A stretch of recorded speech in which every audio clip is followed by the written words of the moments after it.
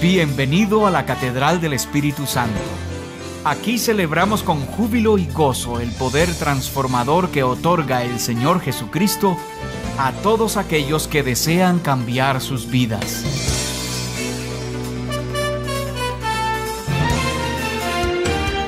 Es nuestro deseo que su estadía en medio nuestro sea un tiempo inolvidable y lleno de inspiración espiritual. Agradecemos y valoramos su presencia. Catedral del Espíritu Santo, un lugar donde el amor de Dios toca a las personas profundamente.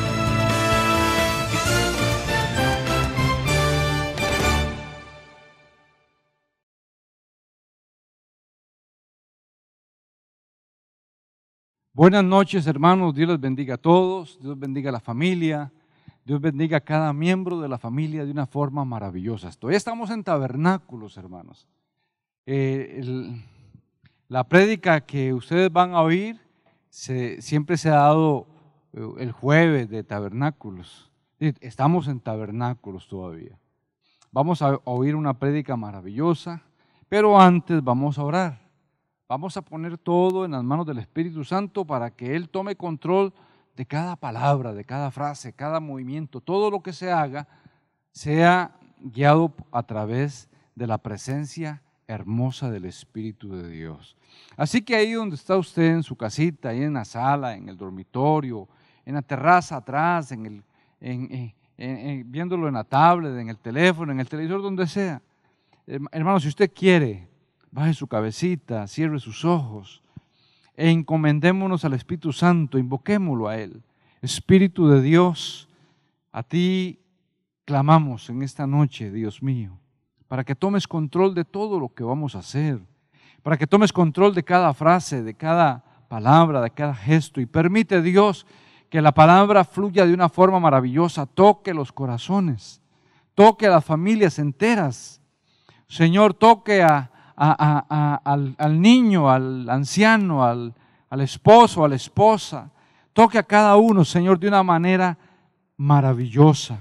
Porque la palabra es viva y eficaz, más cortante que espada de dos filos.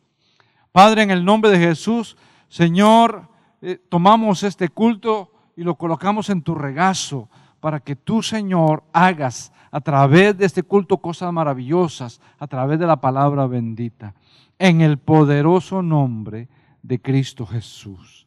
Amén. Y amén, hermano, vamos a unas alabanzas, a una adoración. Yo quiero que usted, si lo hace sentado, no importa, pero por lo menos cierre los ojos y cántele al Señor, haga algo ahí en su casa y permita que el Espíritu Santo haga cosas maravillosas. Dios le bendiga, vamos a la alabanza y volveremos.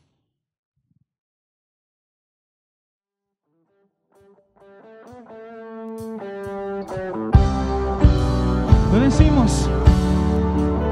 Cuán amor inagotable, fidelidad incomparable, grandes cosas ha hecho Dios por su pueblo. Sido lluvia a las naciones, cambiaste el lloro por canciones, grandes cosas ha hecho Dios por su pueblo. Y toda la creación se levanta delante de su trono proclama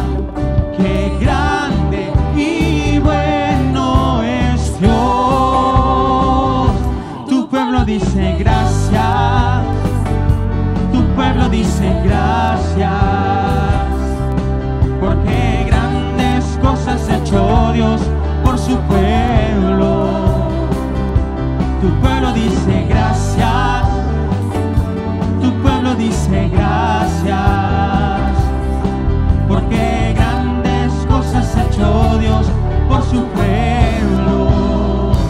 Con amor, oh con amor inagotable, fidelidad incomparable, grandes cosas ha hecho Dios por su pueblo. Ha sido lluvia, ha sido lluvia en las naciones. Cambiaste el lloro por canciones. Grandes cosas ha hecho Dios por su pueblo. Y toda la creación se levanta.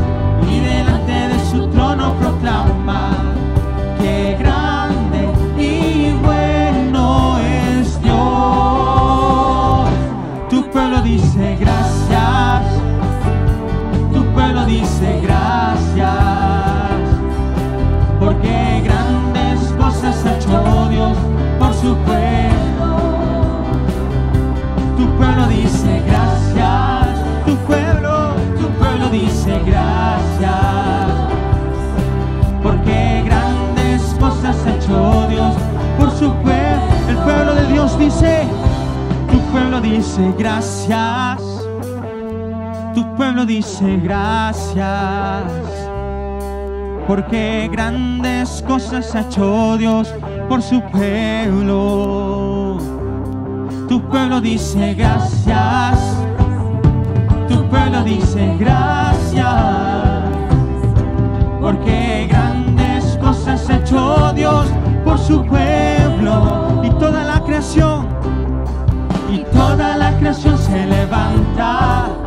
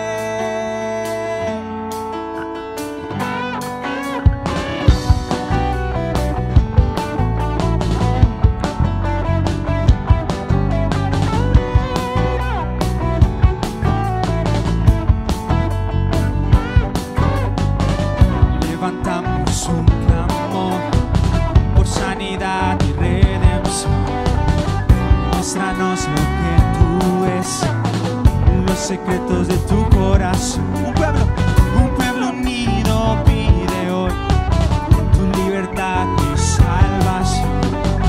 Armanos con tu valor, lo que deseamos es restauración. El cielo, el cielo se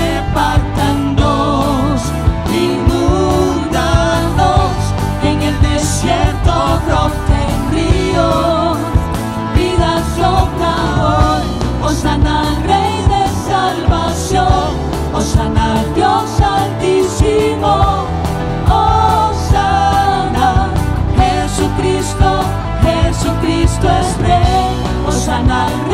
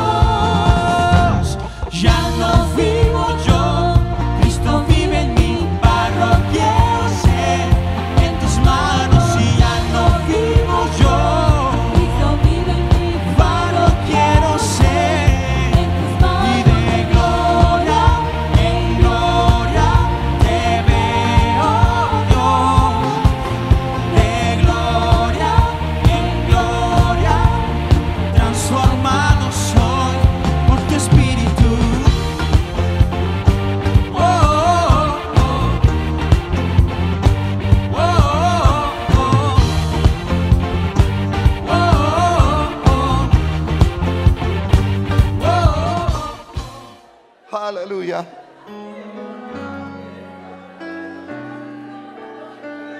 ¿Será que en medio nuestro tenemos hombres y mujeres con principios? Hombres y mujeres de valor. ¿Habrá aquí algún hombre de valor? Mujeres de valor que dirá abriendo caminos, forjando mejores destinos con pautas de amor para la humanidad. ¿Quién dirá? Asumo ese reto, me entrego completo y me uno a la causa de Dios que cambia el corazón. ¿Quién irá a esos hombres tan desesperados? ¿Quién irá a esos matrimonios acabados? O ese niño que está solo sin hogar, esperando que alguien le ame. Oh, hombres de valor, canta conmigo, necesita Dios. Vamos a ver todos hombres de valor, hombres de valor, esforzados una vez más, hombres de valor, que cumplan promesas que sigan, con, la mirada, en su Salvador. El Señor está aquí en medio nuestro.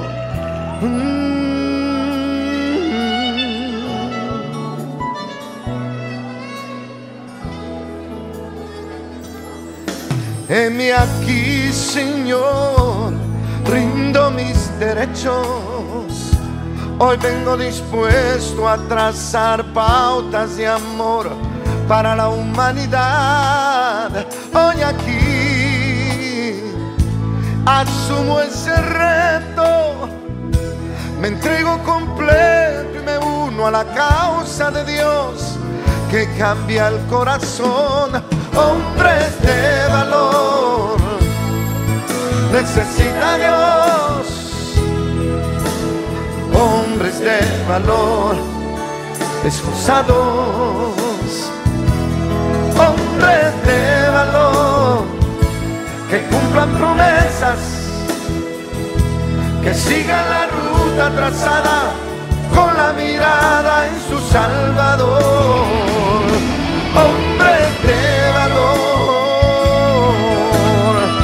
Aquí hay un pueblo de valor, Dale un fuerte aplauso al Señor y un grito de júbilo.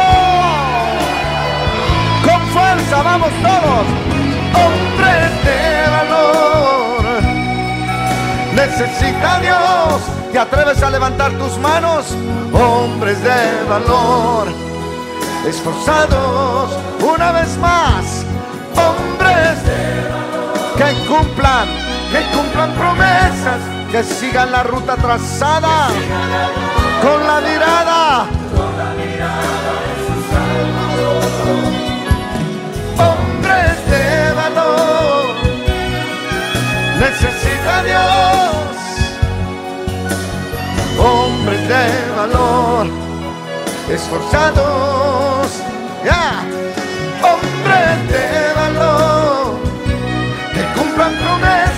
Que sigan la ruta trazada con la mirada en su Salvador. Hombres de valor, hombres entregados, fieles al llamado, todo por la del Señor.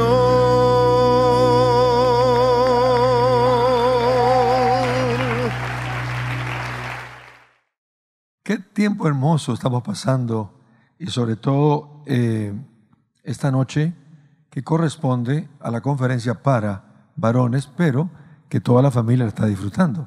Así ocurrió el día jueves con lo de las mujeres. Muy felices de estar eh, con ustedes también y recordándoles que esto parece que estamos todavía en el, en el paquete, ¿no? O en el marco de tabernáculos, porque Las conferencias han estado preciosas, lo de las mujeres y esta, eh, como un cierre también lindo de la, la conferencia para varones. El hermano Marco Dufo, pastor en Lima, Perú, un consiervo, un discípulo muy especial, su esposa Linda y toda la congregación allá que nos está mirando también, el sembrador en Lima. Saludos y muchísimas gracias, hermano Dufo, por eh, ayudarnos también en este tiempo de fin de año como parte de Tabernáculos. Eh, muy contentos de saber que Dios nos ha bendecido y terminaremos el año en victoria. La iglesia local tiene algunos avisos, pero los daremos Dios mediante en el culto siguiente. Ahora quisiera dejarlos porque en las eh, presentaciones o de los expositores de tabernáculos hubo oraciones de líderes internacionales que, que valoramos tanto. Y yo quisiera que el doctor Marcelo, Paredes de Bolivia, una iglesia social que se llama Manantial de Vida, justo porque él buscó en internet y vio el nombre de la iglesia y eso atrás de Jesucristo es el Señor, lo tiene igual, empezó a llamarme, hicimos una amistad hasta hoy y él pues, el médico, eh, medicina, y también pastor de una iglesia. Dios lo está bendiciendo y agradecemos mucho eh, que Marcelo hoy pueda hacer esta oración. Inmediatamente, inmediatamente del doctor Marcelo, pastor Marcelo allá en Bolivia, en La Paz, Suramérica, vendrá desde Perú el pastor eh, Marco Dufo, un gran amigo y hermano y muy cercano a esta casa. Gracias, hermano Dufo, por dejarse usar por el Espíritu Santo. Estamos listos para escucharle. Todos, las familias acá y sobre todo los varones. Dios les bendiga a todos y escuchemos atentamente la oración y luego la conferencia.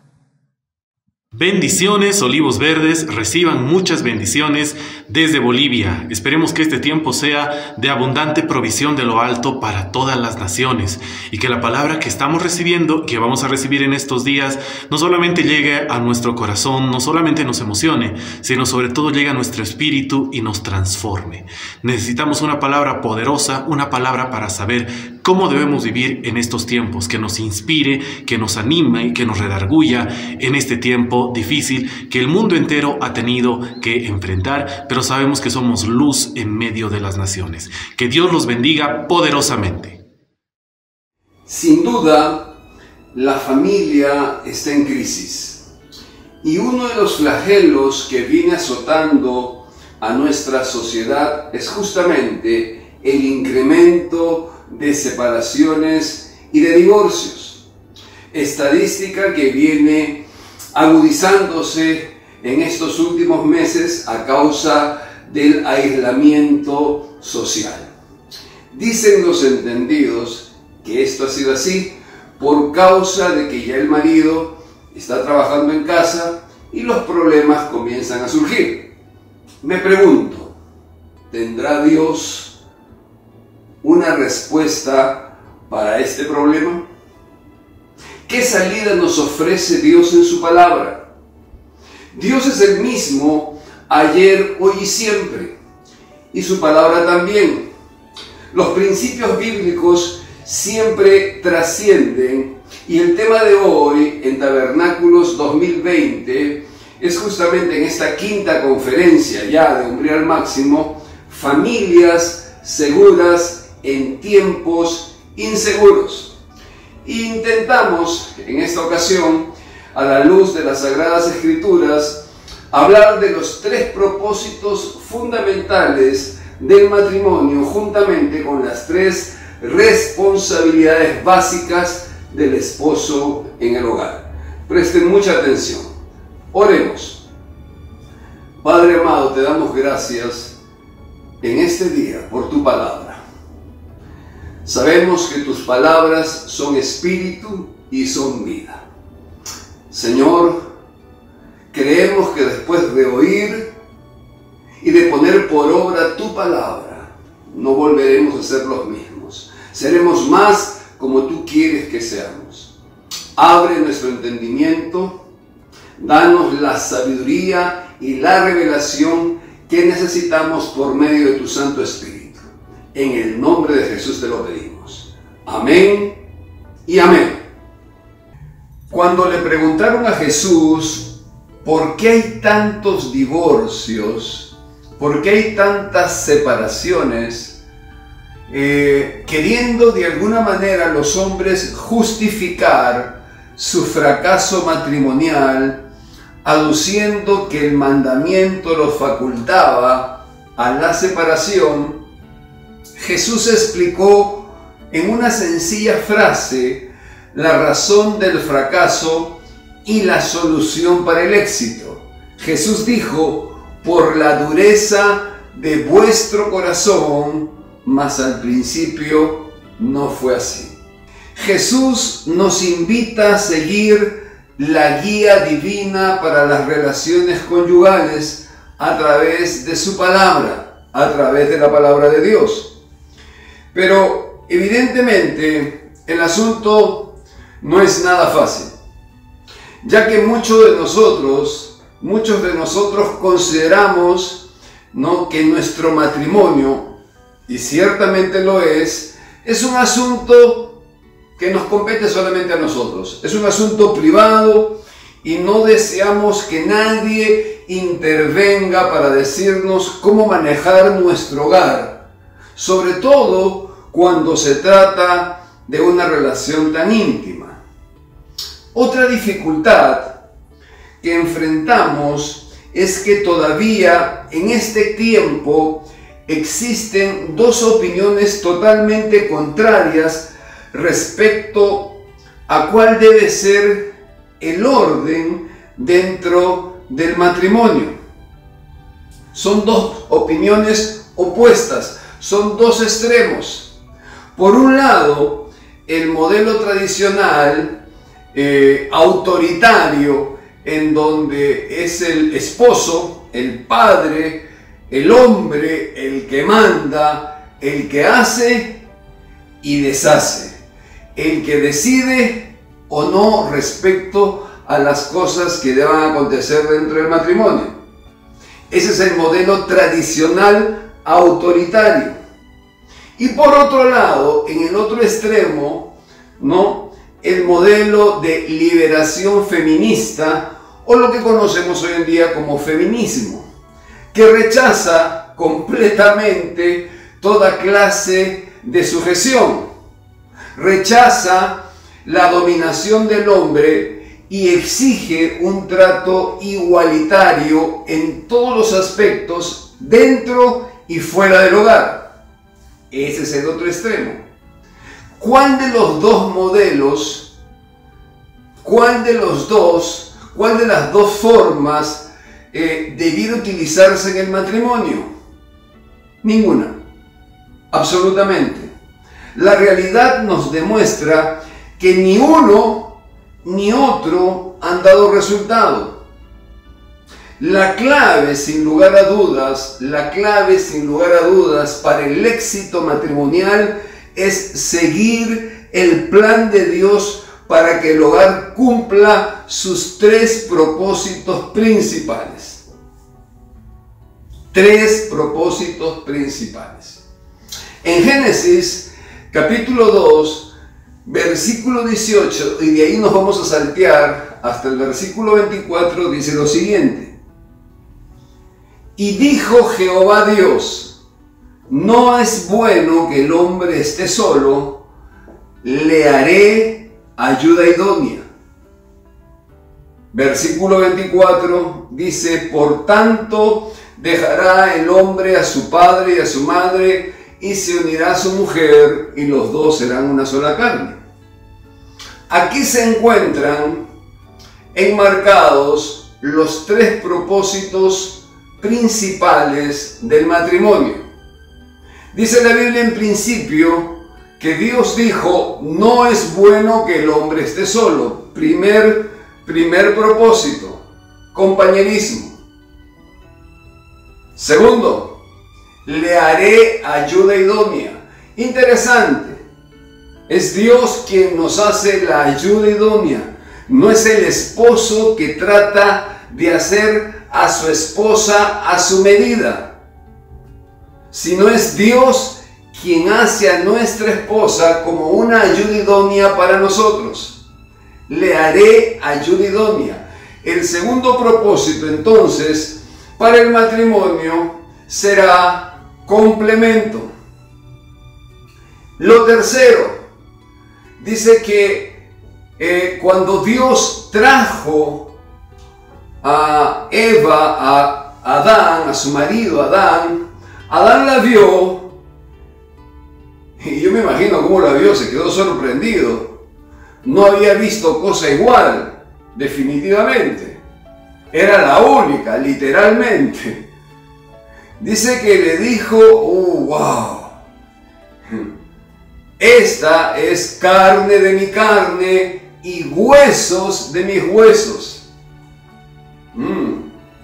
También dijo, será llamada varona porque fue tomada del varón. Y luego dice, Adán, inspirado evidentemente por Dios, dice, por tanto, dejará el hombre a su padre y a su madre y se unirá a su mujer. Ahí está el tercer propósito. Y será una sola carne. Hemos dicho que el primero de cosa es compañerismo, el segundo complemento y el tercero unión. Cuando hablamos de compañerismo, estamos hablando de ser verdaderos amigos. Tu esposa no es una criada, no está simplemente para hacer labores domésticas. Ni tú como marido, ni usted como esposo es el hijo de su esposa. No, no. La relación está diseñada por Dios para que ambos sean amigos. Y deben trabajar para ser los mejores amigos. Es un asunto de proponérselo cada día. No puede haber un mejor amigo que el esposo para la esposa. Y no puede haber una mejor amiga o un mejor amigo que la esposa para el esposo. Ambos deben ser los mejores amigos porque ese ha sido diseñado el propósito del matrimonio. En primer lugar, para que sean compañeros. Segundo, complemento. Le haré ayuda idónea. No hay competencia, hay colaboración. No hay rivalidad, hay cooperación. Los talentos de cada uno son imprescindibles y cada uno cumple y suple lo que al otro le falta. Interesante. Cada uno pone de su parte para que el hogar sea un hogar exitoso respecto al manejo del dinero, al cuidado de los hijos y a las tareas domésticas y humildes cotidianas en el, en el rigor de todos los días.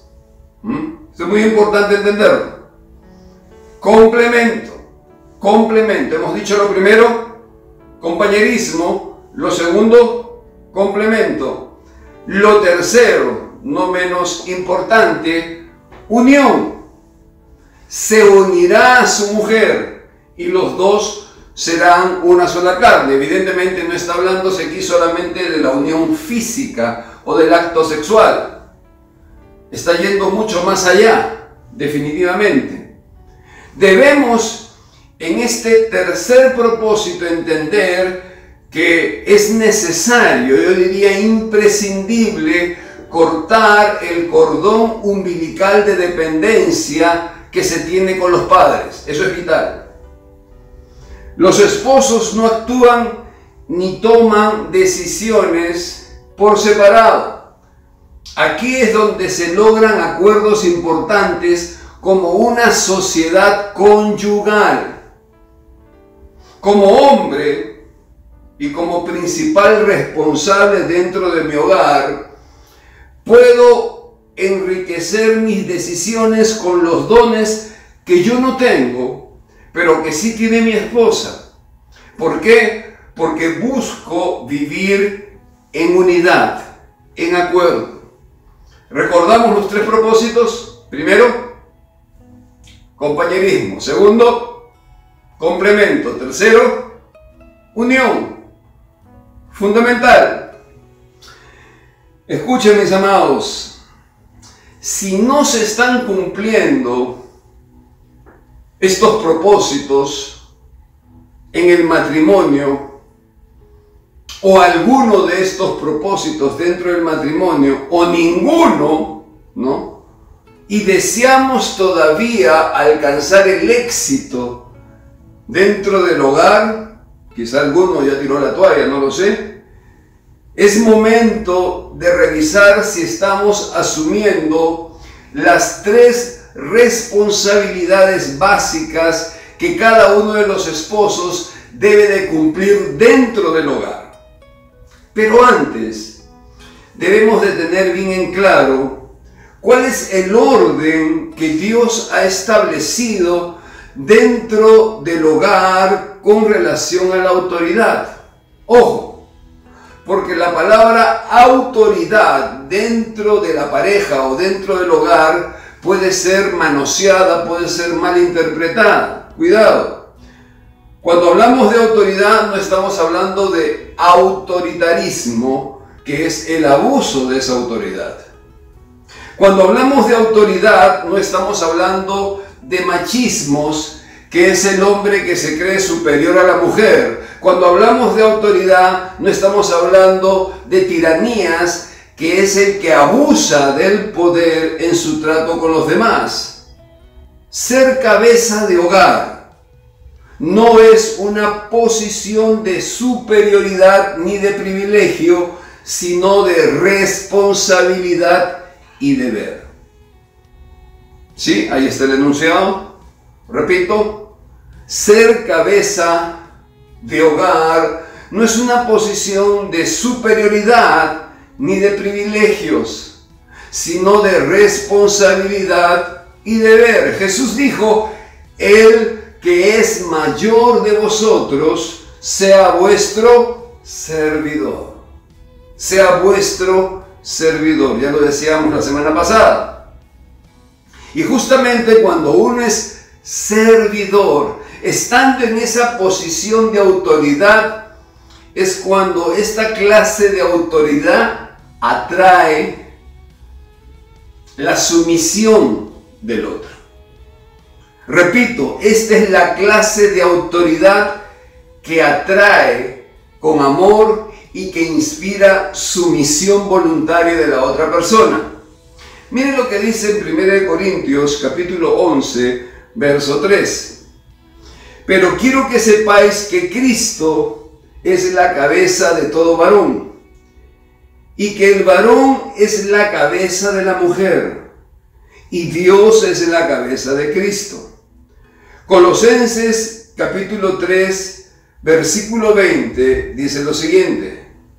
Hijos, obedeced a vuestros padres en todo porque esto agrada al Señor.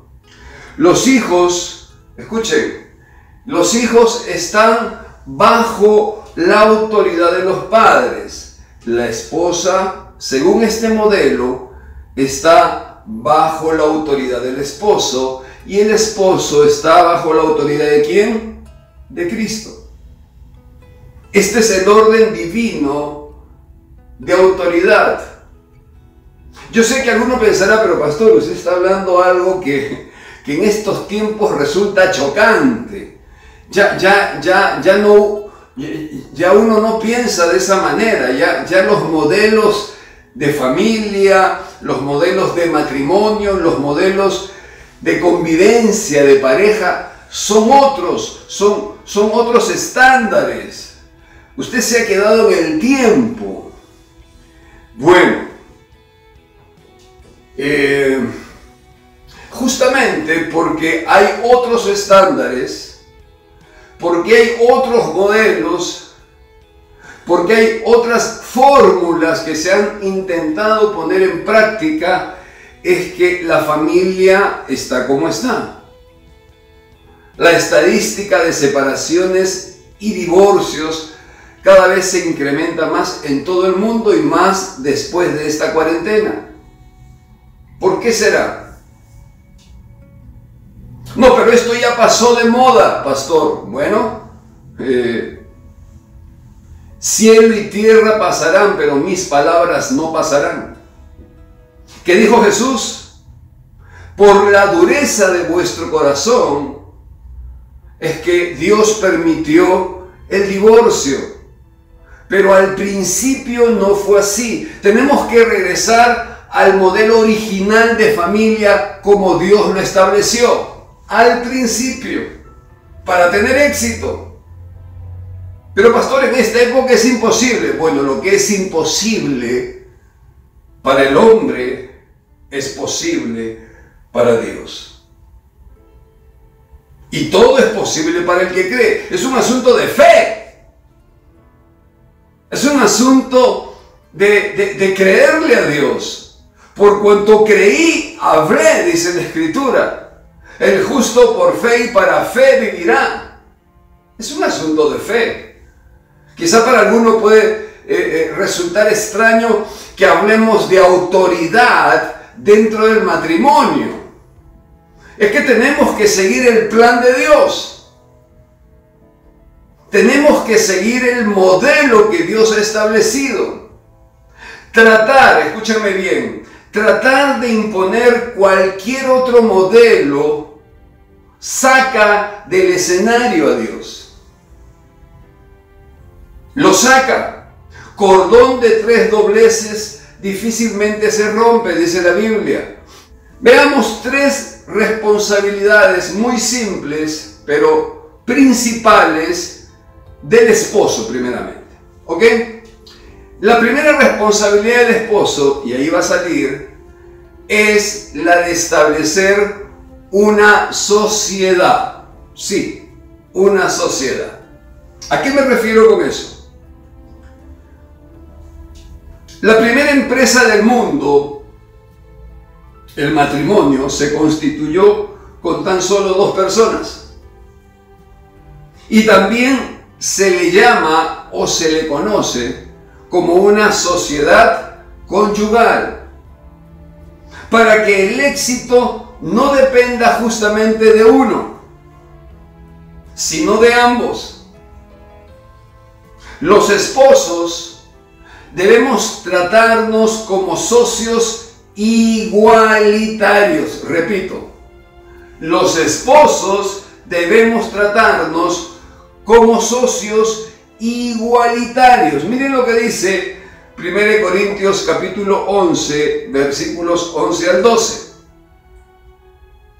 Pero en el Señor ni el varón es sin la mujer, ni la mujer sin el varón. Repito, pero en el Señor. Evidentemente estamos hablando de una pareja que ama y se somete a Dios. Ni el varón es sin la mujer, ni la mujer sin el varón. Porque así como la mujer procede del varón, también el varón nace de la mujer, pero todo procede de Dios.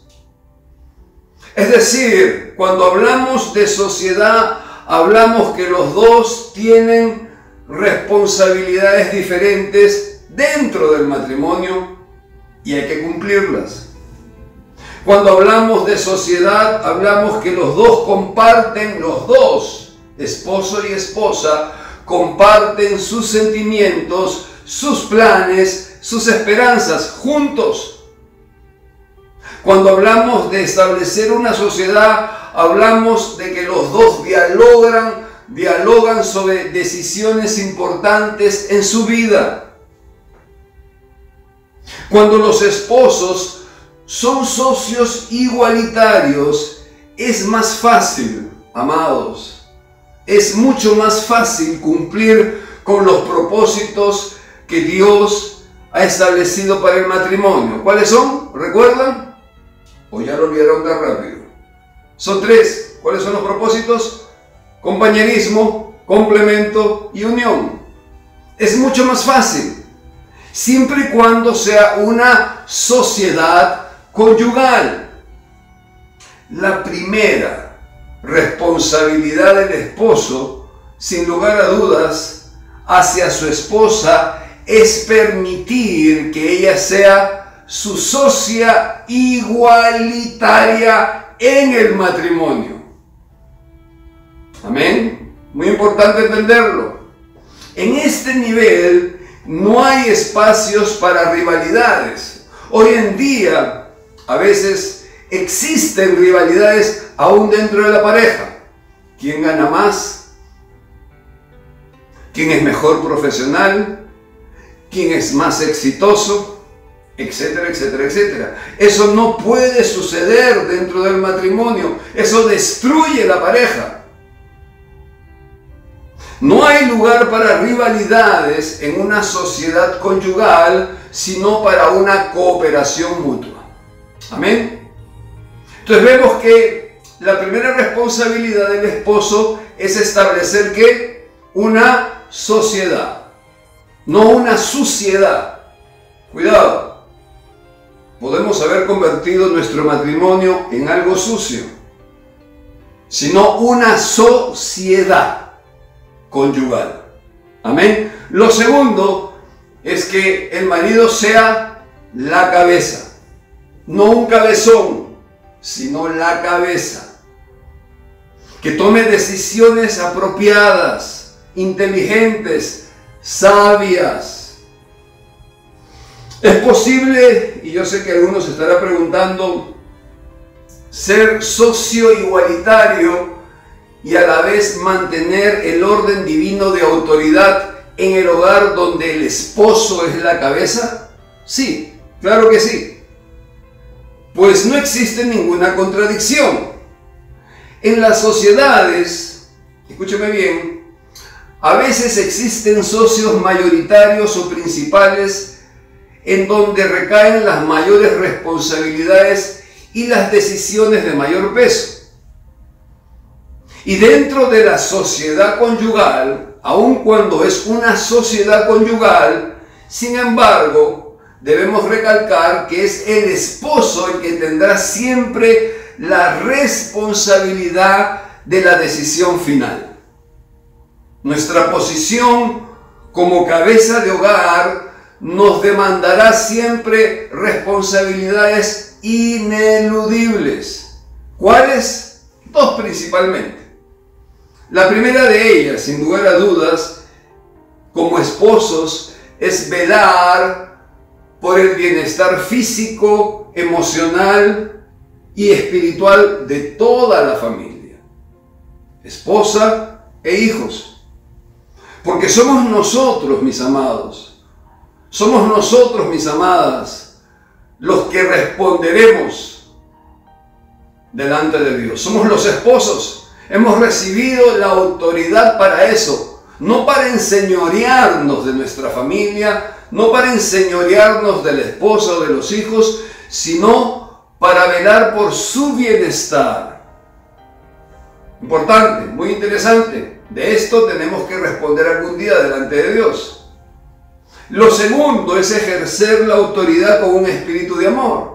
Sí, buscando no intereses personales, sino, repito, el bienestar de todos.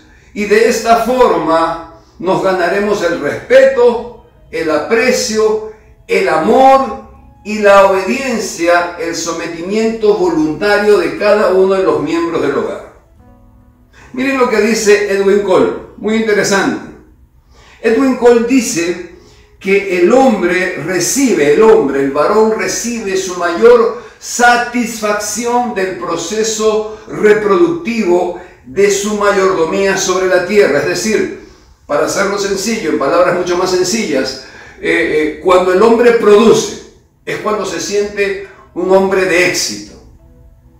Cuando regresa contento del trabajo porque le fue bien. ¿Mm? Los hombres regresamos a casa contentos, tristes o enojados, dependiendo de cómo nos fue en el trabajo. Para nosotros, los varones, A ver, el trabajo es mucho más que simplemente eh, ganarnos los frejoles. Es la forma de cómo sentirnos realizados, de sentir que tenemos éxito. De allí que un hombre que no tiene trabajo no se siente hombre.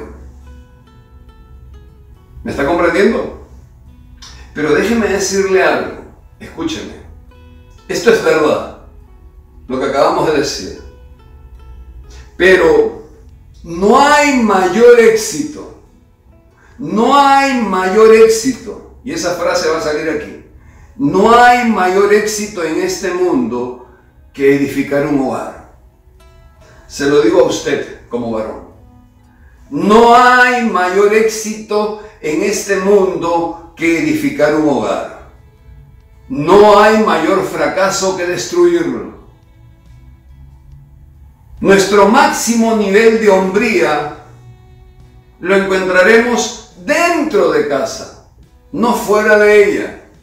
Hay algunos que piensan que está fuera de su hogar, su eh, máximo potencial para lograr su hombría. Y por eso es que establecen eh, eh, relaciones fuera de su hogar con terceras personas. Pero nuestro máximo nivel de hombría se potenciará no fuera, nunca fuera, sino dentro, en el matrimonio. Al contrario, afuera lo vas a rebajar, dentro lo vas a potenciar. En Proverbios capítulo 28, verso 20 dice, el hombre de verdad tendrá muchas bendiciones. Alguna vez recuerdo que estuve conversando con un hermano por lo menos hasta ese momento cristiano, que había fallado delante de Dios, que había tropezado, diríamos, delante de Dios, que había caído en adulterio. Pero lo, interesante de todo esto y a la vez lo más triste de todo esto es que cuando conversé con él y le pregunté, ¿por qué estás separándote? ¿Por qué estás dejando a tu esposa? La respuesta que él me dio me dejó frío, estupefacto, realmente.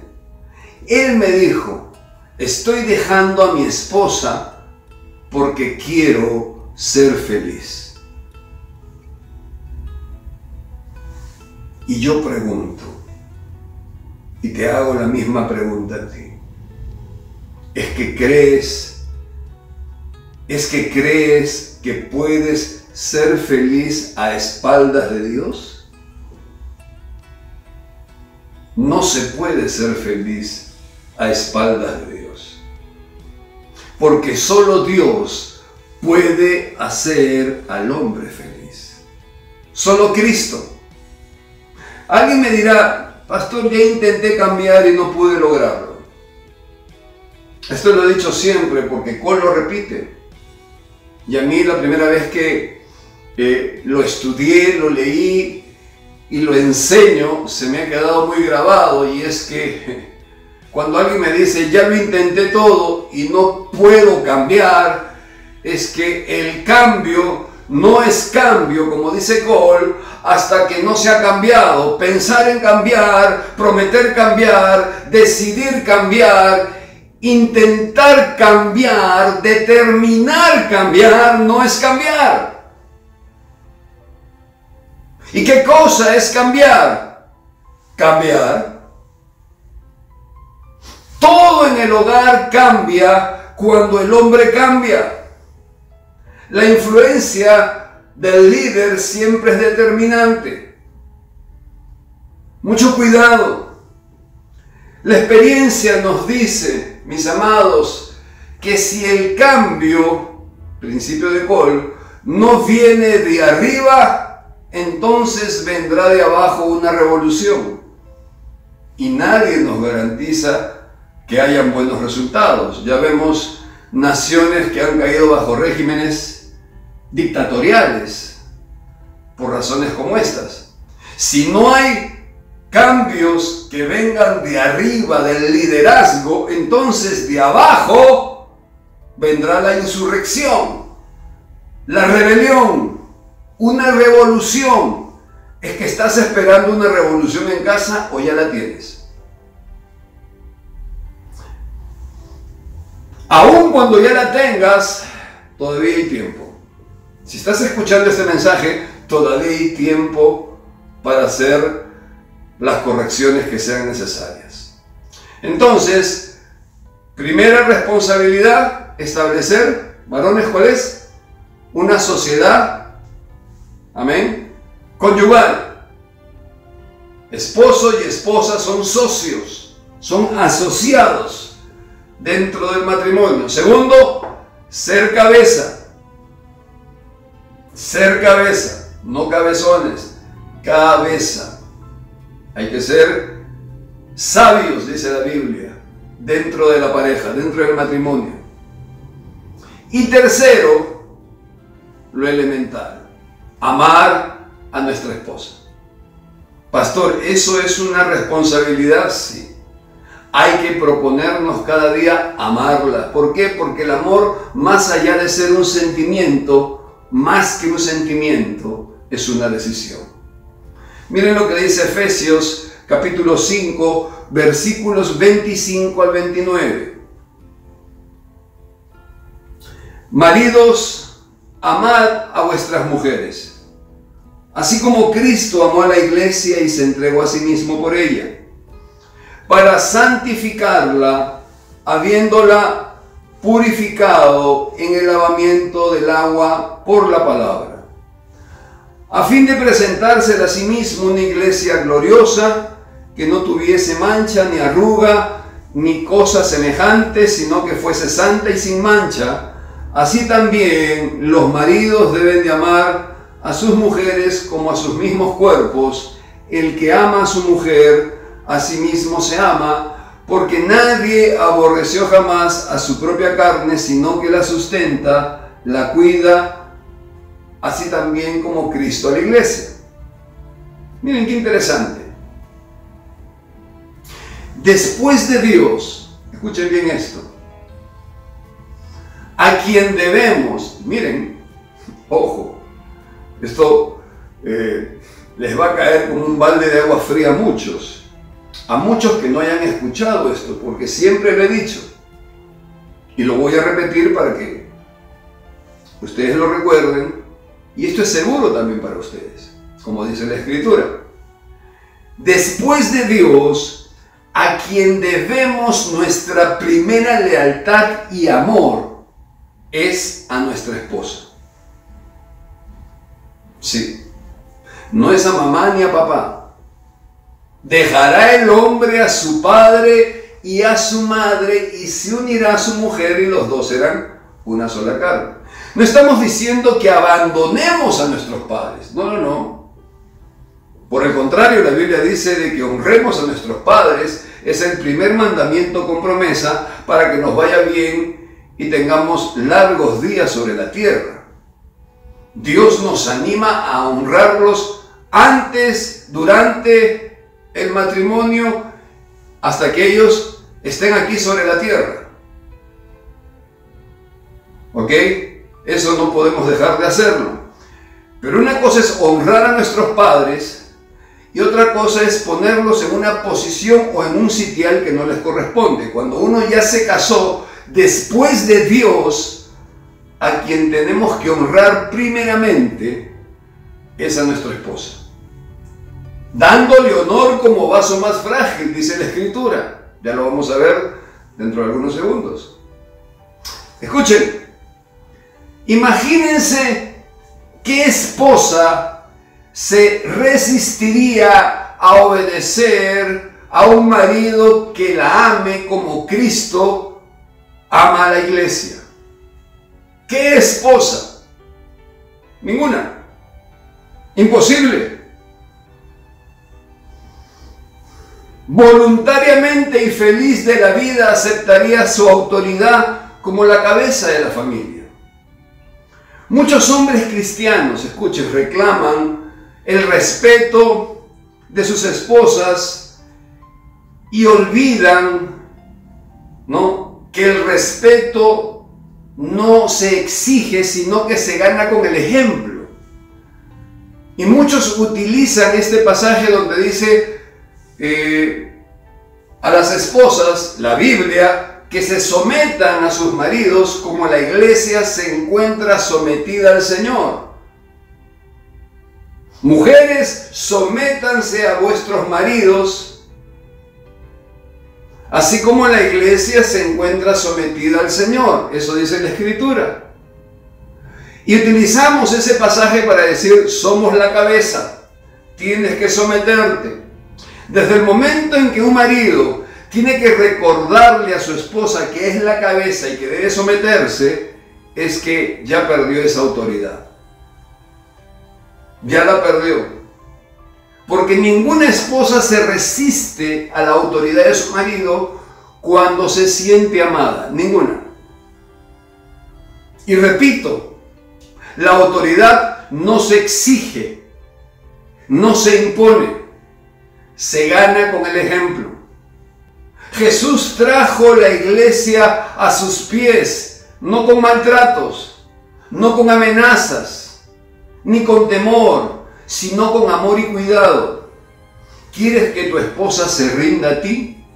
Sí. Ámala como Cristo te ama. Te lo repito. ¿Quieres que tu esposa se rinda a ti? Ámala como Cristo te ama.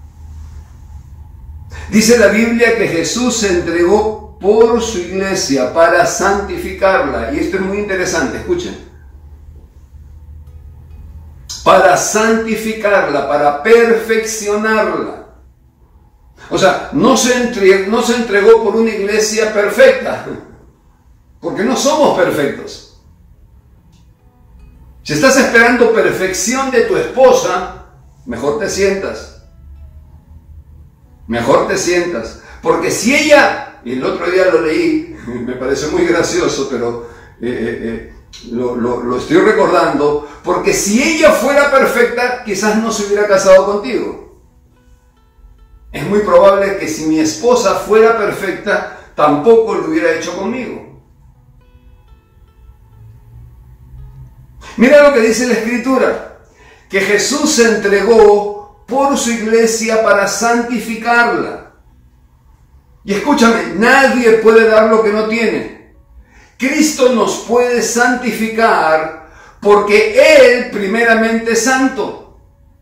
Es decir, el principio es el siguiente, muy sencillo. Si Jesús no fuera santo, no podría demandar y menos aspirar que su iglesia fuese santa. Por eso es que la escritura dice, sed santos como yo soy santo. Y la palabra santo significa puesto aparte, separado. De igual forma, el esposo debe de apartarse, debe separarse. ¿A qué me refiero? Primero tienes que apartarte para Dios. Tienes que separarte para Dios. Si tú te separas para Dios, entonces estarás propiciando que tu esposa haga lo mismo. ¿Quieres una mujer espiritual? Sé tú espiritual. ¿Quieres que ore más? Ora más tú. ¿Quieres que sirva a Dios? Sírvelo tú. ¿Quieres que tu mujer, que tu esposa cambie sus formas, sus maneras, quizás algunos malos tratos? Entonces, cámbialos tú primero. Cámbialos, usted primero. La más grande, y esto es importante, y ahí va a decir, va a salir el enunciado. La más grande influencia de un líder es el ejemplo. Es la más grande, no hay otra.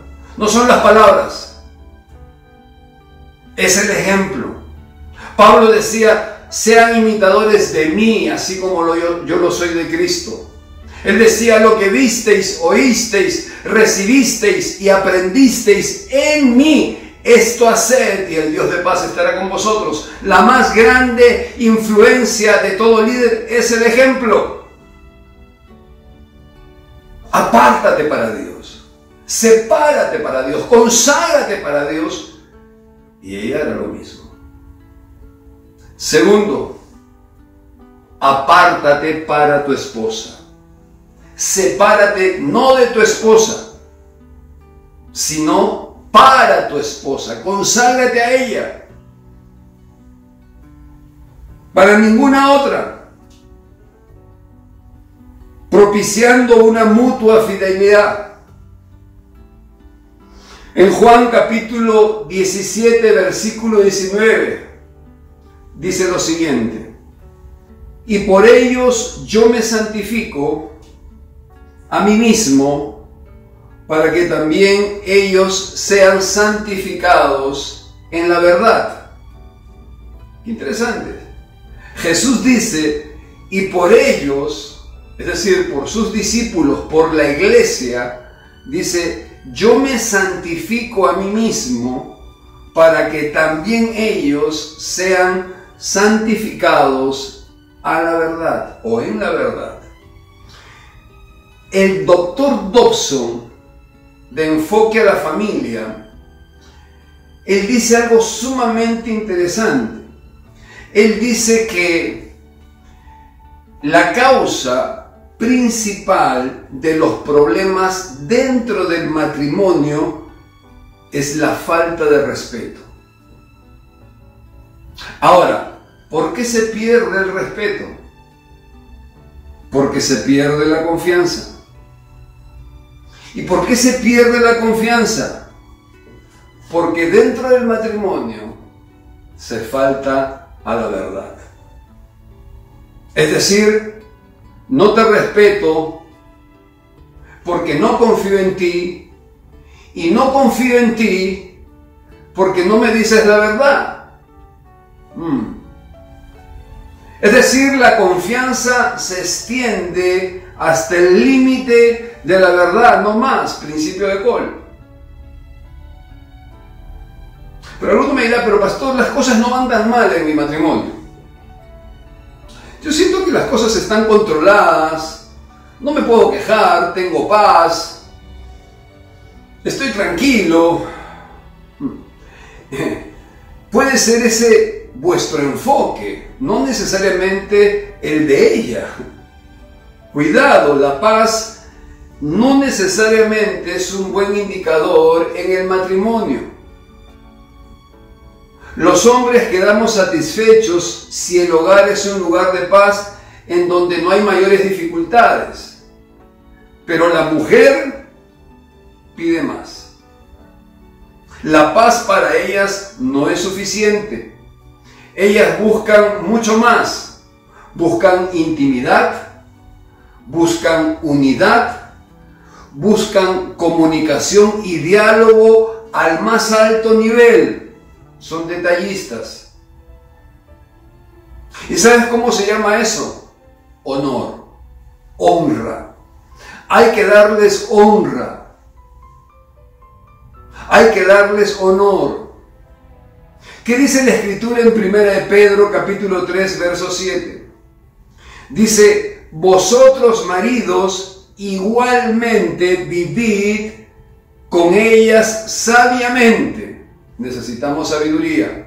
La Biblia dice que el que no tenga sabiduría, pídala a lo alto, a Dios, que la dará abundantemente y sin reproche. Vivid con ellas sabiamente, dando honor a la mujer como a vaso más frágil y como a de la gracia de la vida, para que vuestras oraciones no tengan estorbo.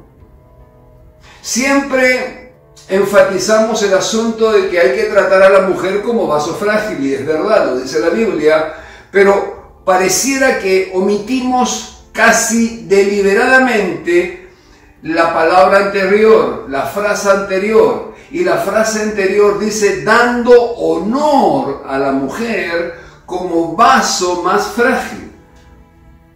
Para tratarla como vaso más frágil hay que darle honor. Y la palabra honor en el griego significa valor. Hay que valorarlas, sí. ¿Cuánto valoras a tu esposa? A ver. Yo sé que me dirás mucho, pastor, yo la valoro mucho. Mm.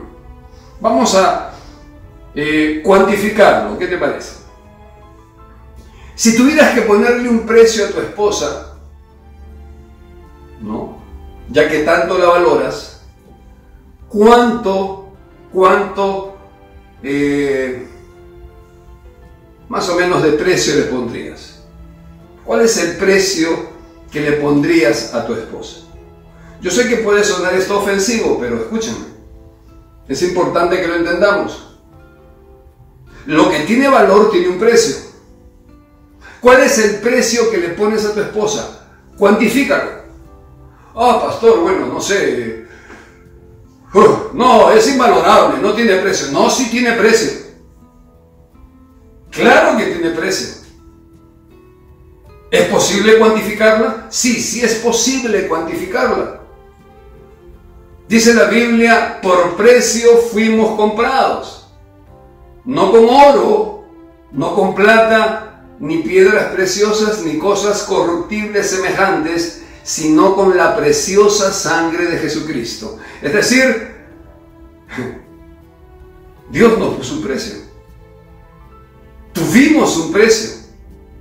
Jesucristo pagó un precio. Yo tengo valor porque Cristo pagó un precio por mí. Y ese precio fue ni más ni menos que su propia vida. ¿Cuánto vale tu esposa para ti? ¿Cuál es el precio? Mm, exactamente, ya lo estás entendiendo. Es tu vida. Es tu propia vida. ¿Estás dispuesto a pagar ese mismo precio que Jesús pagó por ti, por tu esposa? Ay, pastor, claro, pero ¿cómo lo hago? Muy sencillo. Cumple con estas tres responsabilidades que acabamos de citar o de aprender o de recordar. La primera de ellas, ¿cuál es? Establecer una sociedad una sociedad con ella, no una suciedad, sino una sociedad. Amén. Segundo, ser la cabeza, no un cabezón, ser la cabeza. Y tercero, amarla, es una decisión. No subyugarla, no imponerte a ella, sino amarla. Ganarás el amor de ella el respeto de ella, la admiración de ella y simplemente lo demás caerá de maduro. Termino con esto. ¿Cuán dependiente es el matrimonio del amor del esposo? Sumamente dependiente. ¿Cuánto efecto tiene el amor del esposo sobre el matrimonio? Gravitante fundamental. Quizá alguien me dirá, pero pastor, ¿cómo puedo amar a mi esposa si yo mismo no soy capaz ni siquiera de amarme, ni amarme a mí mismo? ¿Cómo puedo yo amar a mi esposa si el principio dice, ama a los demás como a ti mismo? ¿Cómo puedo yo amarla? Bueno, muy sencillo. Si tú no te puedes amar a ti mismo, empieza y toma la decisión de amar a tu mujer y te harás un tremendo favor. ¿Por qué? Porque dice la escritura también que el que ama a su mujer, a sí mismo se ama. Lo acabamos de leer. Amén. Vamos a orar. Inclinemos nuestros rostros. Padre, en esta mañana, te damos gracias por tu palabra. Porque hemos entendido, Señor, que el matrimonio no es simplemente un contrato, sino un pacto de tres, donde tú eres la cabeza, tú eres lo fundamental, lo que unes a la pareja. Hemos entendido que hay un propósito, Señor, para el matrimonio. Compañerismo, complemento y unión. Ayúdanos a cumplir con ese propósito. Hemos comprendido que nosotros como esposos tenemos responsabilidades, según tu palabra, de establecer una sociedad con nuestra esposa de ser cabeza y sobre todo de amarla como tú nos has amado. Ayúdanos. No podemos hacerlo solo. Te lo pedimos todo esto en el nombre de Jesús. Amén amén. Ahora, si tú estás viendo esto y quieres hoy entregarle tu corazón a Jesucristo, porque quizás te estarás preguntando, ¿cómo puedo yo hacer esto si no conozco nada de lo que dice la Biblia, recién estoy escuchando este mensaje. Bueno, hay un principio y el principio es que invites a Jesús a entrar a tu corazón. Si quieres hoy invitar a Jesús a entrar a tu corazón y por ende a tu hogar, entonces repite conmigo esta oración. Inclina tu rostro, por favor. Cierra tus ojos y di conmigo, Señor Jesús, te pido perdón por mis pecados, habiendo escuchado tu palabra, me arrepiento por mis pecados. Y hoy yo decido abrirte la puerta de mi corazón, invitarte a que entres en mi vida y me cambies. Te recibo hoy como mi Señor y como mi Salvador. Y creo que tú resucitaste para darme vida nueva, vida abundante y vida eterna. Gracias te doy, Señor. En el nombre de Jesús. Amén y amén. Que Dios los bendiga. Hasta pronto.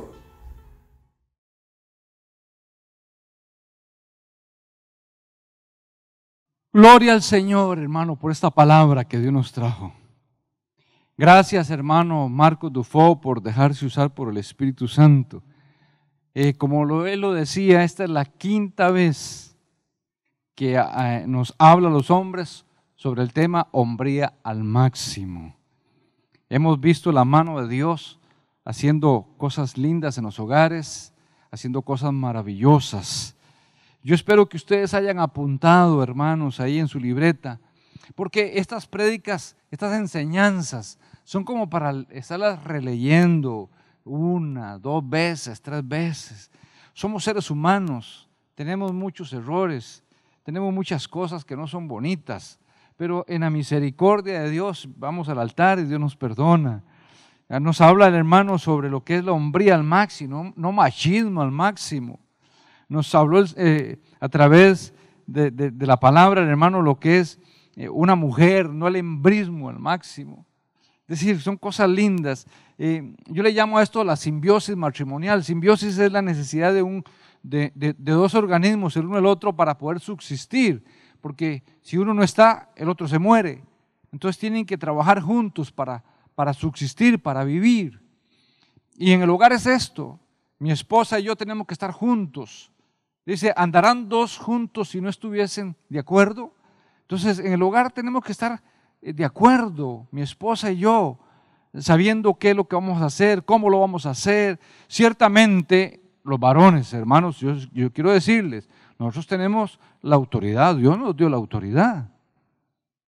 Este, Dios te va a pedir cuentas, como lo dijo el hermano, te va a pedir cuentas de todo lo que pasa en tu casa, porque usted es la cabeza, Dios le dio la autoridad a usted, pero le dio la autoridad, no, no, no, no el látigo, no, no la espada, no, no la chancleta, no, le dio la autoridad de Dios para que usted guíe su hogar, a sus hijos, a su familia. Yo doy gracias porque yo sé que muchos hijos están copiando a sus padres en cosas buenas eh, y, esos hijos nuestros van a ser hogares maravillosos, van a ser esposos lindos, esposas maravillosas. Nuestros nietos están viendo a los abuelos y están viendo a los, a los papás eh, cómo, cómo, cómo están formando el hogar y ellos están aprendiendo. Esto es vida de Dios. Gracias doy a Dios por todo lo que nos ha dado, por todo aquello que, que Dios ha puesto en nuestras manos. Estos tabernáculos todavía, hermanos. Para mí estos tabernáculos. Este, hoy, hoy es el cierre con los hombres. Eh, en la mañana eh, fue eh, los niños con, con Minguito. Todos hemos sido ministrados, hombres, mujeres, niños, ancianos, todo hermano, qué maravilloso. Tuvimos un, un tabernáculo virtual pero un tabernáculo que nos llenó de una forma increíble, porque todos estuvimos en la casa viendo cada prédica y cada prédica nos, nos mandó como clavos hincados, clavos metidos, ardientes ahí. La palabra fue maravillosa. Doy gracias a Dios por todo lo que Dios nos ha dado. Gracias, hermano, hermano Marcos, por dejarse usar de una forma tan bonita y tan maravillosa y lo amamos mucho, hasta Lima, Perú, lo amamos muchísimo. Yo quiero bendecir la iglesia, pero antes de bendecirte, iglesia, voy a darles un, comunicado. El pastor lo dijo, ahora lo vuelvo a repetir. El, el, domingo 27, culto presencial con Santa Cena a las 10 de la mañana. Tienen que llamar a la hermana de Alá, a la oficina, o a Dilio, o a Jenny, el que esté ahí, y inscribirse. ¿Por qué? Porque, porque así, así se hace ahora, hermanos. Para que tenga su campito con su familia, con sus hijos. Acuérdese, culto presencial con Santa Cena, domingo 27 en la mañana. Vamos, yo quiero que usted cierre sus ojitos ahí donde está. Voy a pedir al Dios del cielo que te bendiga y que te guarde. Que el Señor haga resplandecer su rostro sobre ti y tenga de ti misericordia siempre, de tus hijos, de tus generaciones. Que Jehová el Señor, el eterno, el sublime, el maravilloso, levante sobre ti sus ojos y su rostro y los inunde de paz aún en medio de todos estos problemas. Que estén llenos de la paz de Dios, de esa presencia manifiesta. Y así quedan bendecidos en el nombre del Padre, del Hijo y del Espíritu Santo. Amén y amén. Dios les bendiga a todos. Bendiciones de Dios.